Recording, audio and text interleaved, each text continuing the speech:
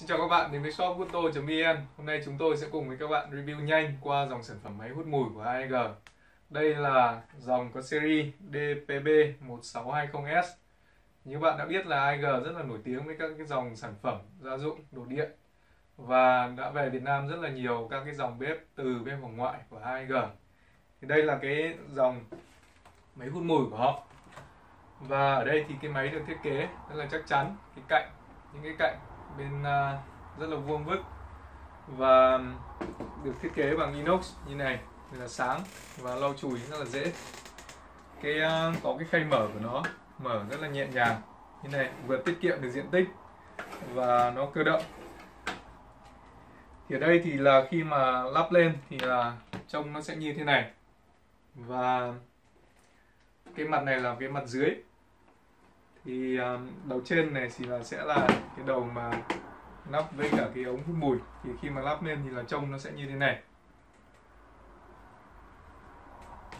Thì để mình nói qua các cái thông số của cái máy à, của cái à, máy hút mùi này trước khi mà đi vào xem cái cách hoạt động của nó. Thì máy này có cái chiều chiều à, rộng này của nó là 30 cm và khi mở ra thì nó có thể rộng đến 45 cm và cái chiều ngang của nó là 60 cm chiều cao này thì là khoảng 20 cm máy có cái công suất hoạt động là 100W và có hai cái đèn ở cái góc dưới này. Máy có thể hút được đến 240 mét khối không khí trong một giờ. Cái độ ồn của nó là từ 46 đến 57 decibel. Thì tí nữa mình sẽ bật thử để các bạn xem là cái máy nó, cái độ ồn và cái sức hút của nó như thế nào. Thì để bật máy thì các bạn là cắm cái điện. Thì thường là ở nhà thì là lắp máy lên thì là nó đã luôn được cắm điện rồi. Thì bây giờ mình sẽ cắm điện vào phía đây của máy. Và để dùng máy thì là các bạn phải mở nó ra và bấm cái nút ở góc này. Các bạn sẽ thấy bốn cái nút ở góc này. Thì đầu tiên là cái nút bật điện đây. Thứ hai là để bật cái công suất, bật cái quạt thì các bạn là có thể bật ở đây có ba mức công suất quạt một. Các bạn bắt đầu nghe thấy tiếng quạt kêu. Kêu nhẹ đây là mức hút nhẹ. Mức 2 mức 3 đó. Ở đây nó còn có cái chế độ tự động nữa. Khi mà các bạn đóng cái này vào thì nó sẽ tự tắt quạt. Và khi bạn mở ra thì quạt nó sẽ lại tự động chạy lại. Đó và có ba mức công suất như này. Mình sẽ thử cái um, đây là mức công suất thứ ba là mức công suất cao nhất. Đây là cái đầu ra của nó. Các bạn có thể thấy được cái cái độ mạnh hút của nó như này. Nếu mình thấy là cái mức uh, hút như này là tương đối tốt và có tiếng ồn không không cao lắm.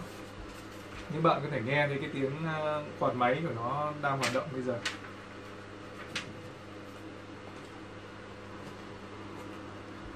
Đấy là cái chế độ ờ, bật tắt. Là mình sẽ nói qua về cái mặt thiết kế đằng trước.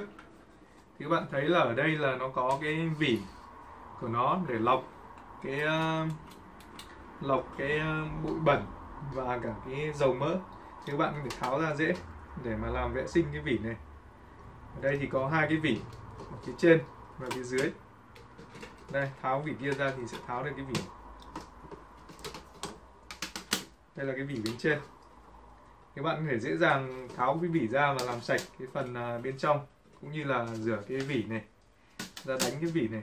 Bên đây là cái động cơ của nó, và đây là hai bên là hai cái đèn, thì các bạn cũng có thể là dễ dàng tháo hai cái đèn đây, đèn sợi tóc, khi mà nó bị à, hỏng. Cái vỉ này lắp vào cũng rất là dễ.